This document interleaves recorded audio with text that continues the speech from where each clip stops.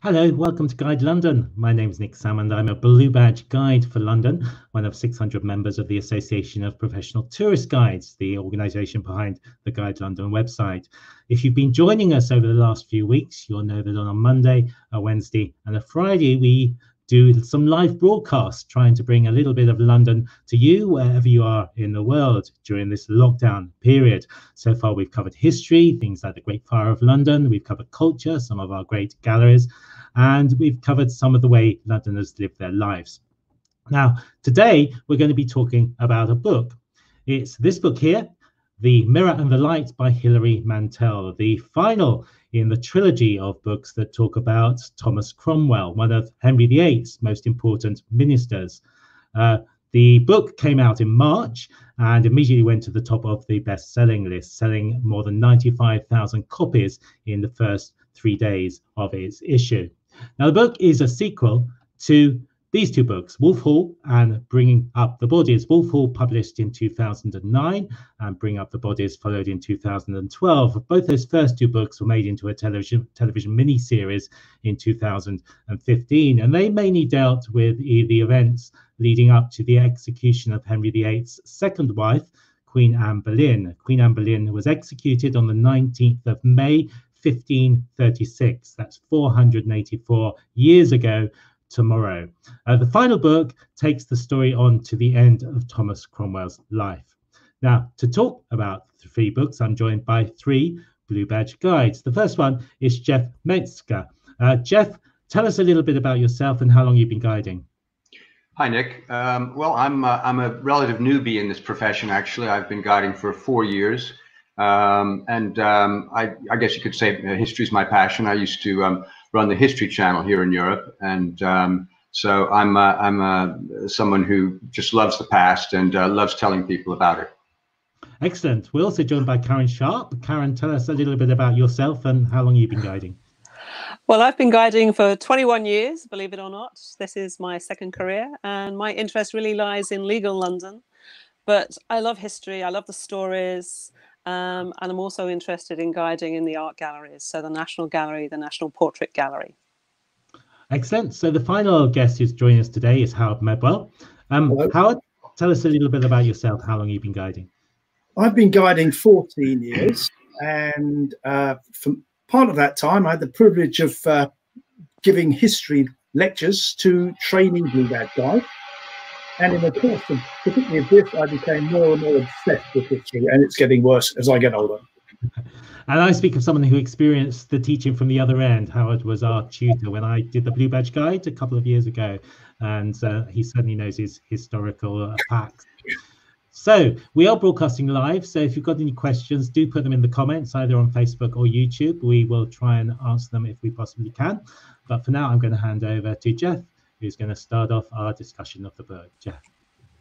Thanks, Nick, and um, hello to everyone. Um, I guess we should start by saying that Tudor history's had a bit of a renaissance in recent years, uh, thanks in part to Hilary Mantel, but also thanks to popular television series like um, The Tudors. Uh, that was about 10 years ago. Uh, certainly, uh, authors like Philippa Gregory with books like The Other Boleyn Girl, and um, and um, some of you may know the Shardlake series by C.J. Sansom.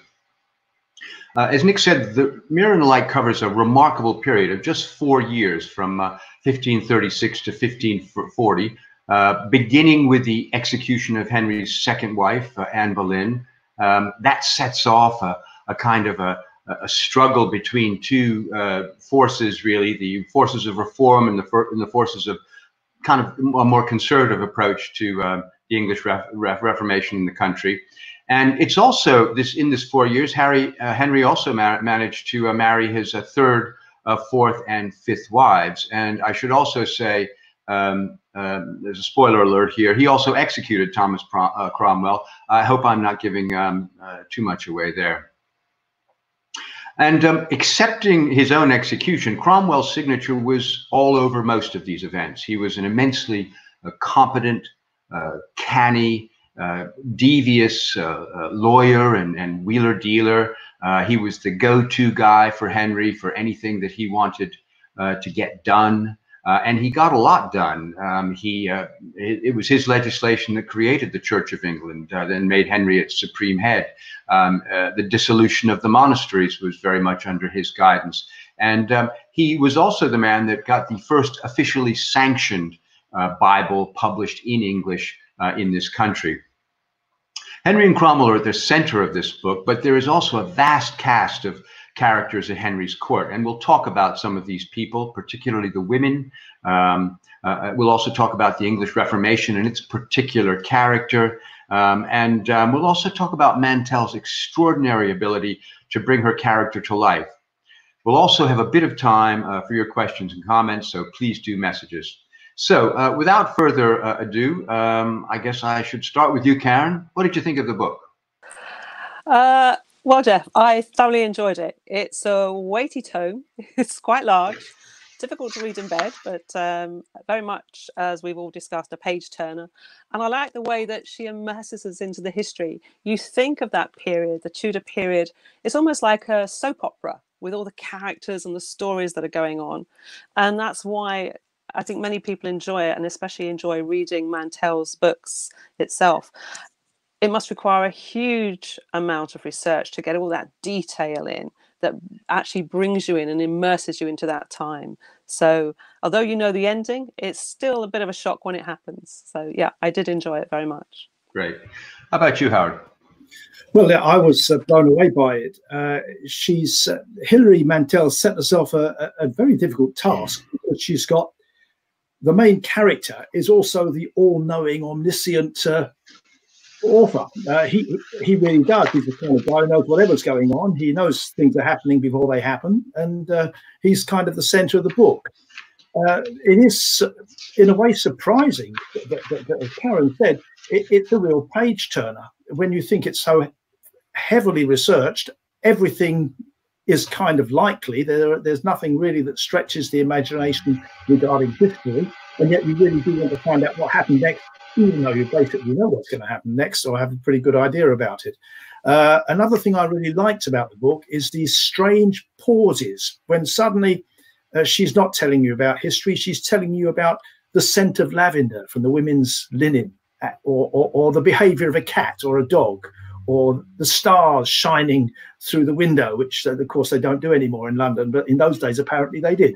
Um, that sort of thing is is really part of the magic of the book. Yeah. Okay. Um, I think uh, one of the things which um, always brings a novel, should we say, to life is knowing the places in which um, in which it takes place, uh, and um, and that was certainly true for me with this book. In fact, uh, Mantel herself, in the afterword of the book, um, actually um, gives a special nod to the importance of places. Actually, she says that uh, welcoming place into your imagination um, even if it's a location surrounded today by uh, modern architecture, was very much key to um, her um, kind of getting access to the material, so to speak. Did knowing any of these sort of existing, existent locations, uh, as well as both of you uh, do, make the book become, make it even more, uh, make it even more vivid for you? Howard, why don't you start? Well, the place that really clicks for me uh, is uh, the magnificent palace of Hampton Court, Hampton Court Palace. Obviously, ideally, you would go there by water, not by train or car, because that's the way Henry VIII went there and Thomas Cromwell went there. Uh, Hampton Court is not specifically featured so much in in in um, the Mirror and the Light, but there's part of Hampton Court which really brings you into the two worlds of Thomas Cromwell. Henry VIII's Great Hall uh, the place where actually the king didn't eat, but where many magnificent occasions took place. Many of the ambassadors, who are important characters in the novel, uh, had to do with Henry in uh, in the Great Hall of Hampton Court. You walk past magnificent and extremely expensive tapestries, which feature also um, as part of the literally the scenery of the book. But then downstairs from the Great Hall are the extensive kitchens, and not just the main kitchen, but the fish room, the cheese room, the boiling room, the green court where the carters had to turn their carts around for an endless supply of, of, of, of food and drink when the king was in residence. And of course, uh, Thomas Cromwell, as a young boy, this is this was his introduction into the into the adult wor- world and a pretty aggressive, foul-mouthed introduction it would would have been. And there's a place called the, the, the, serving area at the other end of the great kitchens where the staircase goes up to the great hall. And you imagine a culture clash between the serving people and the kitchen people. And when you read uh, The Mirror and the Light, as with all Hilary Mantel's, all three of Hilary Mantel's novels, she's not particularly scared of rude words. There's lots of aggressive swearing. And you can imagine the aggressive angry, uh, stressed atmosphere between the overstressed kitchen staff rushing up and down these magnificent stairs, and uh, sorry, the, the, serving staff running up and down the stairs, and the kitchen staff running backwards and forwards in the kitchen. And the atmosphere is, is extremely, extremely clear, easy to, to, to, to, to internalize, to get hold of there. On the other side of London, there's another building, a more modest building, uh, called called called called, called um, Hutton House, which uh, sorry Sutton House. I was thinking of another uh, Tudor character, Sutton House, uh, which is from the outside looks mainly Georgian, but in its origin and in the center of it, in many of the internal rooms, in uh, many inside many of the rooms, it it is brick house, which was where uh, Rafe Sadler lived, who was a kind of protege of Thomas Cromwell, who married a, a, a, young woman in Thomas Cromwell's household and lived in Brick House for many, many years. He survived much longer than most people did in the 16th century. He had lots of kids, uh, and some fragments, uh, particularly uh, the brickwork and uh, quite famously the linen fold um, uh, wooden paneling are still extant in Sutton House, and I would recommend certainly a visit there. It's in uh, the Homerton area of the London Borough of Hackney, very different area from Hampton Court, but it uh, brings back the atmosphere of the time very much. Okay, great. Karen, what about you? Have you uh, have you got some favorite places? Yes, about an hour's uh, train ride from London, you will find Windsor Castle the oldest inhabited castle in Europe. It's the home of our queen, Elizabeth II, but it was one of Henry VIII's favourite homes. And we know that Cromwell would have visited. He was made a member of the Order of the Garter, uh, which is housed in St George's Chapel, which you can see there. The building was completed in Henry's reign in 1528. And when you go inside, you can see the senior the orders member of the orders themselves with their banners their crested helms the helmets that you can see on top of the stalls and they each have a plaque and Mantel, it's lovely when you get towards the end of the book, tells how that Cromwell's enemies ripped the garter, the George, from his person when he was arrested. And if you can picture it, if you've been degraded, so he's he's going to be executed, they're degraded knights, they would have ripped down the helm, ripped down the banner, and they would have kicked it out of the chapel. And it eventually would have been kicked into the ditch at Windsor Castle. So that's quite a vivid uh, what you will see. And of course, after his name in the ledger, he's actually shown as a traitor, va proditor, on me traitor or oh traitor and everywhere his name appears he's seen to be a traitor. So a wonderful place to visit. A little bit closer uh, sorry i should say you've also got the tomb of henry viii buried there of course with his favoured wife jane seymour who gave him that longed for son the future edward vi but somewhere a little bit closer to home in london on the east side of the city is the Tower of London. Now, like Windsor, this is an old building.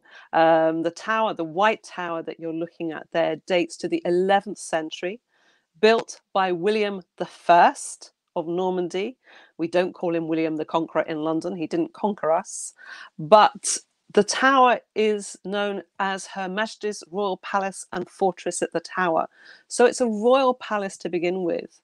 And one of the most famous uh, scenes at the tower, you have the gate, Traitor's Gate, as we call it today. Originally, this is a Watergate entrance for the king, Edward I, in the 13th century, to come and visit the tower and stay in his apartments, which are above. But in the 16th century, it gets that name, Traitor's Gate, where you're rowed in along the River Thames You walk up the steps that you can see there. And of course, you're now within the tower. And it's somewhere that Cromwell knew very well. He would have, as the Lord Privy Seal, the Lord Chancellor, he was involved in questioning prisoners at the Tower of London. And of course, this is where he ends up himself in 1540. He is not executed within the tower, he's executed outside at Trinity Square Gardens. And this is what you're looking at the scaffold site at Tower Hill. You can imagine all the people there coming to see him, this low, base-born man who's made himself one of the, the most important people in the country at the time. The nobles didn't like him, the population didn't like him. He'd risen above his station. So they're there to see his execution. And luckily, although he's arrested for treason, he's not hung, drawn, and quartered as a commoner maybe have, would have been. He is beheaded as a no member of the nobility would have been. So Henry was a little bit lenient. He gave him the chance to be beheaded, although with an axe, not a sword, like Anne Boleyn. And he's buried with Anne Boleyn, amongst others, in the chapel that you can see, the chapel of St. Peter ad Vincula, again built in the reign, well, I should say rebuilt in the reign of Henry VIII. The previous chapel had burnt down. But Cromwell is one of a thousand people buried there, and it's said to be one of the saddest spots in Christendom by the 19th century historian Thomas Babington Macaulay. And he said it's not one of the greats such as Westminster Abbey, where people are buried, but those who have been buried there because of their enemies or cowardice of friends or the misery that they've fallen into.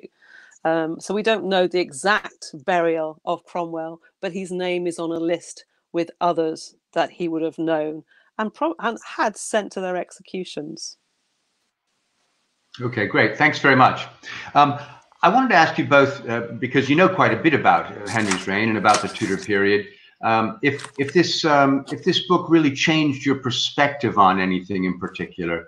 Um, Howard, wh wh why don't you go first?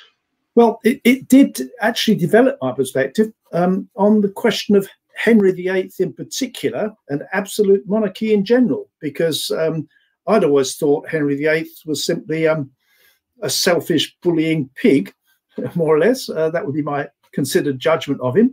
And absolute monarchy was a system which enabled men, particularly, to be bullies and, and, and, and do what they liked. Actually, this novel makes clear the constraints. Probably Henry was a bully and a bit of a pig with it, but the constraints on his position as absolute monarchy were also very, very strong. And this makes it very clear. And of course, Cromwell's the art of statesmanship or the art of being a politician that Cromwell is so good at is based on kind of reading the situation, understanding the pressures on Henry, and giving the king a bit of encouragement in one way and another. So for me, that was uh, a moment, well, a, a, bit of enlightenment that, that, that, that, the novel gave me, which you don't normally expect from a novel. Um, uh, you know, it made uh, Henry's life and Henry's behavior not necessarily uh, uh, nice, but it made it easier to understand. Okay. Okay. And uh, Karen, what about you? Did did this book change in any way your perspective on on on, on that period? Not about Henry. I still don't like him. He's a tyrant uh, and a bully. Uh, and that is very much a propaganda portrait by Holbein. Whereas if you look at Holbein's portrait of Cromwell, Cromwell's very much, I always thought of him as Henry's creature who did everything that Henry wanted to. He's a he's a bureaucrat. Um, but you get to have a, a much more in-depth look into Cromwell's life with the books, and I think Mantel makes him human, and he does appear very human in those books. And one of the key tidbits that when you're reading that you find out is that he's responsible for births, deaths, and marriages. You can imagine the common people hating the fact that they think he's going to tax them. But it's something we take very much for granted these days that they have to be registered. So, yeah, so it did change my perspective. Okay. Karen, one of the things I wanted to ask you about, actually, because we talked a little bit about this, was the women in the book. Um, I mean, it's filled with wonderful women characters, um, and many of them, shall we say, in a supporting role, so to speak. These were the the women who uh, kind of very often, um, you know, attended the, one of the the various uh, queens of Hen Henry VIII, um, and um, you know, it's. Uh, the way in which uh, women were, and this is one of the things that really kind of changed my perspective on things, was the way in which uh, women were considered, the way in which they were objectified in in every way possible, really. Um, but particularly um, in marriage, I found what um, what Mantel called, um, I think she said, uh, the cold transactional nature of Tudor marriages. Um, what do you think about uh, Mantel's work here? And, and, could you talk maybe a little bit about some of some of the women characters in the book? Yes, certainly, Jeff. Uh, I mean, women are seen as basically there to bear children, as borne out by Henry's wish for an heir. So that's all they're intended for. Their families use them to make political marriages. What's it going to gain them? Is it going to gain them prestige, power, whatever they can get. But in the book, Mantel, she brings forward some very interesting women. Three of them I've picked out. The first one is Mary Howard, uh, who would marry Henry's illegitimate son, Henry Fitzroy. Um, they marry when they're teenagers, and because of what had happened to Henry's older brother Arthur, he refuses them to actually consummate the marriage. But he gives her a, what we would today call a book that she could use to write poetry. It's known as the Devonshire manuscript. And if you can imagine that at Anne Boleyn's court, the idea is that the young men would basically write poetry and music. And the idea was to flirt. So you can see what's going on at um, Anne's court. And Mary becomes involved with that, as does um, another lady called Margaret Douglas, who is the king's niece. Now, she's a really interesting character. She falls in love with one of the Howards, um, the half brother of the Duke of Norfolk, a man in the book who's called Tom True. And uh, they fall in love and they both end up in the Tower of London. But they're writing to each other. And this book has about 185 poems in it. And some of them are between Margaret Douglas and Thomas Howard. So they're writing to one another. And then, of course, today you may recognize Margaret. Uh, she ends up in the tower two more occasions at least in regard to her sons. One of them is Henry Darnley, who married Mary, Queen of Scots. She was released when he was murdered. And the other was her younger son, Charles, who married Elizabeth uh, the daughter of Bess of Hardwick. So she sort of falls foul of most people, but she's a very strong character. And then the third woman you come across, a little bit less so, Mary Shelton. She's another one of the Boleyn family. Um, but she too is involved in writing some of this poetry some uh, in the manuscript that you'll find. She ends up having we believe an affair with henry around about 1535 for six months. She doesn't get anything out of it but it's probably at the instigation of her family um, because he's not happy with anne boleyn who's a relative. So these women really come alive um, and they're quite strong characters Mary Fitzroy so much that she never marries, even though they try and push her to marry um, Tom Seymour, at least on three separate occasions. And then she'll later give evidence against her brother. And it ends up with his execution just before Henry's death, the Earl of Surrey. So I find these women very interesting. And of course, the Devonshire manuscript is available at the British Library. So you can look it up. Oh, wow. Okay, um, thanks for that. Um, yeah, I mean, love was a it was a dangerous thing, really, and uh, mm. it was mm. actually um, very dangerous to kind of uh, sort of um, devalue the assets of a uh, of a king.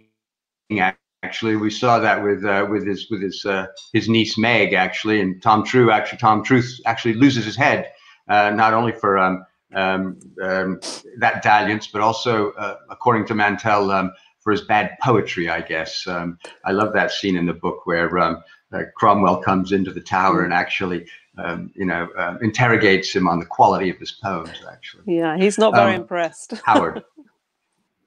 No, not at all. No, poetry could get you into trouble. There's no doubt about it. Mm. Howard, uh, one of the things I wanted to ask you about uh, about Mantel's perspective on the on the English Reformation, I got the sense uh, from this book that unlike um, uh, that which was happening in Northern Europe in, in the 16th century. Uh, the English Reformation uh, was lacking in any kind of real moral compass, a, a, kind of a faith that sort of flip flopped uh, in its beliefs, uh, rather more that it was um, how can I say it, an instrument, in fact, of, uh, political expediency and fluctuations at court according to who had Henry's ear.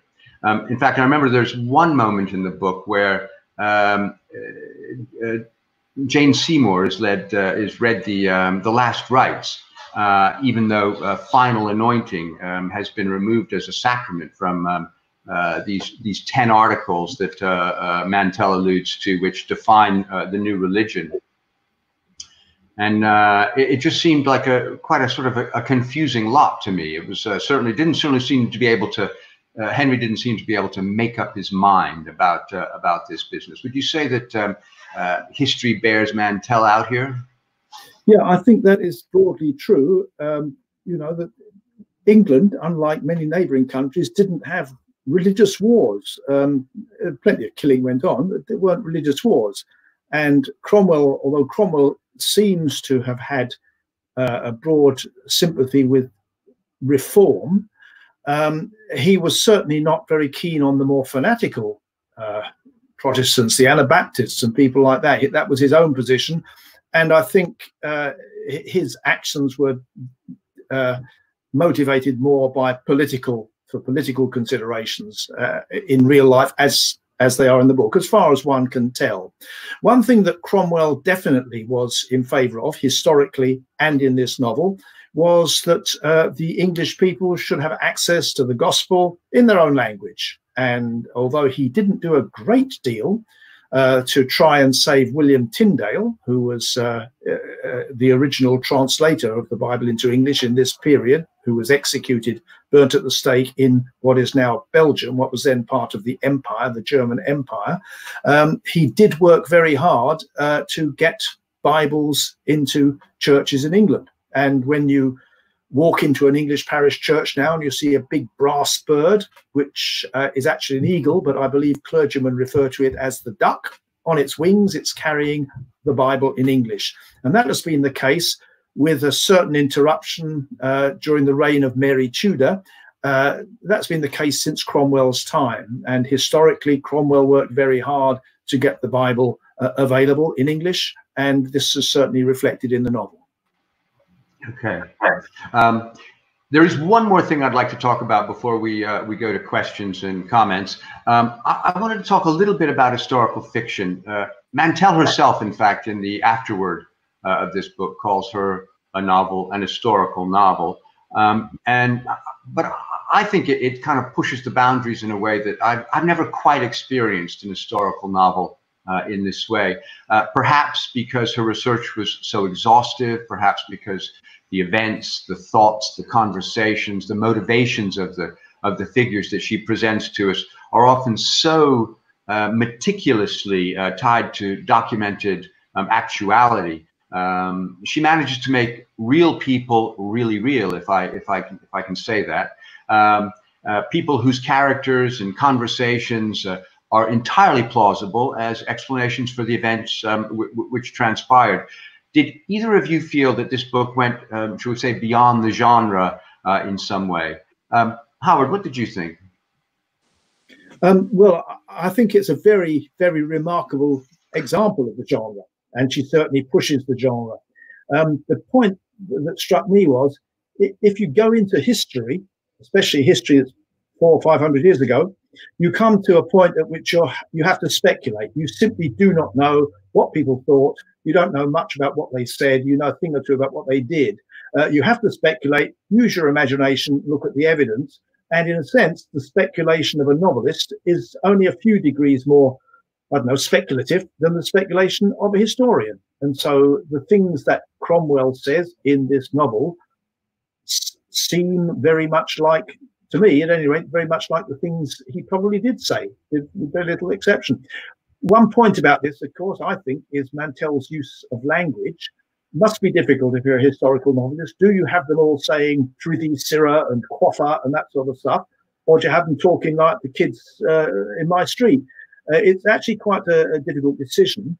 Um, and one does notice that she selects very carefully language which might be contemporary but which almost certainly had an equivalent at the time, and language which is a little bit old fashioned, uh, but makes sense to us today in 2020. Um, an example of this is when, uh, just after the execution of Anne, Anne Boleyn, uh, Cromwell's son asks the constable of the Tower, uh, Kingston, if a woman has ever been executed there before. And uh, the constable require, uh, um, replies, not as far as I know, not on my watch at any rate. Thoroughly modern phrase, which which which uh, a modern day politician might say, but it fits probably what someone like Kingston would have said had he been asked that question. You know, uh, if I just go to the other side, two words are frequently used: uh, up and down. Uh, the word up means in revolt. They talk about the Lincolnshire rebels being up. Last year, the Lincolnshire was up that meant everything to them. We don't know what that means, but we can guess what it means very quickly from the context. Or when someone else says, when Anne Boleyn came down, uh, that means when she had her head chopped off, you know, and, and her faction was totally defeated. And again, a, a, a, 16th century use of language, which very quickly becomes very clear to the reader in 2020. Okay, thanks. Karen, did you find this, uh, shall we say, a, a, a book which pushed the genre? Yeah, I mean, I found for for me as a historical novel, it's it just totally immerses you, and you you forget that you're reading what is essentially a novel, and you, you're reading history. Um, and I, I'll be very brief because I know time is going on. I think when she's recently interviewed, she mentions that at the end that even now Cromwell eludes her. Well, I don't think so, but um, for me, she just brought him totally to life. I agree. Okay, um, I think we're going to draw our conclusion amongst ourselves to a close now, and um, and let's see if um, anybody is um, has got any any any comments from um, from the field, from the peanut gallery, so to speak. Thank you, three of you. That was fabulous. Um, there's lots of comments coming in. Uh, Sarah Reynolds uh, says she hasn't read the book yet, but you've spoken so highly of it. She's been with it. Uh, Laura is uh, watching us from California, saying good morning from California. She's reading the book right now, so very interested in the presentation. Uh, Steve Fallon is actually looking at Sutton House from his office window. So he, obviously is in the right place at the right time. Mm-hmm. Hilary Mantel is at the virtual Hay Festival this year. I think you can get tickets online. You can actually see that online. You just um, it's usually mm-hmm. a festival on the Wales border, but this year it's all going to be online because of obvious reasons. Uh, Val says she's enjoyed all three books, so well written and bring Tudor London to life. And Eddie says it's a great book. Making Cromwell a hero is a tough ask. So, do you think Cromwell is a hero? Is he the hero of the book? Well, um, it's hard to call him a hero, isn't he? He's certainly the protagonist. Um, I mean, he's, um, I, I, find him entirely plausible, and I thank Hilary Mantel for having uh, made him that for me, really. Um, much like um, what Karen said, I, I, thought he was brought to life in a way that was absolutely extraordinary. Um, he was, as I said, a, a man who was just incredibly competent, really knew how to get things done. And which which place would you recommend if people coming to London, as we hope they will be soon, and they want to find a bit of real real Tudor London, where would you recommend someone goes to experience that? So Jeff, start with you. Well, I mean, I think you know the Tower of London gives you the willies. It really is a very very genuine place, um, and it's a it's a place that. Um, um, it's really all right there. You know, we saw a picture of Traitor's Gate. Um, that is the real gate. That's where they came through. That's where people like uh, Thomas More and Thomas Cromwell arrived, and they really walked across those stones. And um, um, you know, they really were kept in the towers that are there. And in fact, we saw a picture of St. Peter ad Vincula. There's a green in front of it, and that's the green where Anne Boleyn lost her head. So um, these are these are real, actual, factual, palpable events, which um, I think the tower really, uh, you know, really makes you feel there is something about standing at the place where it actually happened, isn't it? And uh, knowing you're just a few feet from the body of where you know Anne Boleyn lies, so it is, it is very evocative. What about you, Karen? Where would you recommend people go to? I would recommend Hampton Court Palace, Nick. Uh, a Tudor palace. Uh, you get an idea of the, the grandness of King Henry VIII's a little bit of his apartments with the great hall, the what we call the long gallery. But don't forget, it's Wolsey's building first. And of course, Cromwell worked for Wolsey. So he would have known Hampton Court quite well. And then, of course, where Mantel explains about all the different initials having to be changed. So you can imagine every time you go to Hampton Court, there's different initials, and they've sort of missed a few from Anne Boleyn, especially in the eaves of the Great Hall. So for me, that is definitely a place that you should visit. And there was a question about Hampton Court actually, which comes from Bodil. Is it true there's a ghost at Hampton Court? Catherine Howard. Is that true? Yeah. It's yeah. alleged that there's a ghost, and some people say yes, she's been seen running down the gallery because, of course, her household was disbanded there when she is found uh, to have committed adultery. So it is said, a household is disbanded in the watching chamber. She's a prisoner. She manages to escape the Queen's apartments and runs down the gallery to try and get to Henry, who's at prayer in the chapel. And so that's why she's said to haunt the building still today. And that, of course, comes after Cromwell's time. So he, he after 1542. So yes, 1542. So he's gone by then. But uh, but yeah, uh, Mantel alludes to it a little bit mm-hmm. within the book, and and we find that Cromwell says, "Don't say that. That it's sort of something you shouldn't talk about," because someone mentions that she's no, known right. several people. So you have to be careful, and he won't delve into that one. What do you, Howard? Howard, what would you say is the one place that you recommend people visit? Oh, the prime location, uh, weirdly, uh, perhaps, is, is the river. I, I, think the river is never absent from this book. It, it, you travel by water, and the river is always there. The river, uh, the, the, the smell of the river and the dampness of the river pervades a number of the scenes. So, if you've got a bit, a few hours to spend, uh, get on at Greenwich and make your way to Hampton Court. Uh, you won't see from the river that many buildings that go back to Thomas Cromwell's time. Um, but as Hilary herself says in, in her afterwards, you mustn't resent modernity. We're in modernity, but the currents of the river and the ever the presence of the river and life on the river, which of course still continues, are very much part of the scene throughout Cromwell's life and throughout all of Hilary Mantel's novels about him it would be a great trip. How long would it take you to go all the way from Greenwich to Hampton? I'm talking about five hours. Five hours. You get yeah. some amazing views on the way. It's definitely worth doing. Yeah, yeah absolutely. By boat and come back by train. Yeah. Fabulous. Thank you, all three of you, for that really illuminating talk. I have to admit, I haven't read the books, but I shall go off and uh, I shall start them now. Um, do come back and see us on Guide London as well. Come back on Wednesday. Wednesday, we're going to be talking about William Shakespeare, um, of course, our most famous playwright. And then on Friday, we've got our long awaited um, talk about the Beatles, the Beatles in London, which um, Eddie Lerner is going to send to us. So we'll be able to see that on Friday. If you want to know any more about our guides or about Guide London, then go to the website, guidelondon.org.uk is the best place to find out more information, you can look up all the popular tours. Um, you can also find a guide. So if you want to search for any of our guides, all you have to do is type in the name, click on the search button, and that will bring you up on their, their profile. So thank you for Karen. Thank you for Jeff. Thank you for Howard for today. Uh, do share this with your friends. We want as many people to see it, and we want you to come and visit us in London when the lockdown is lifted, which hopefully won't be too long now, fingers crossed. From all four of us, though, for the moment, Goodbye. Goodbye. Thanks.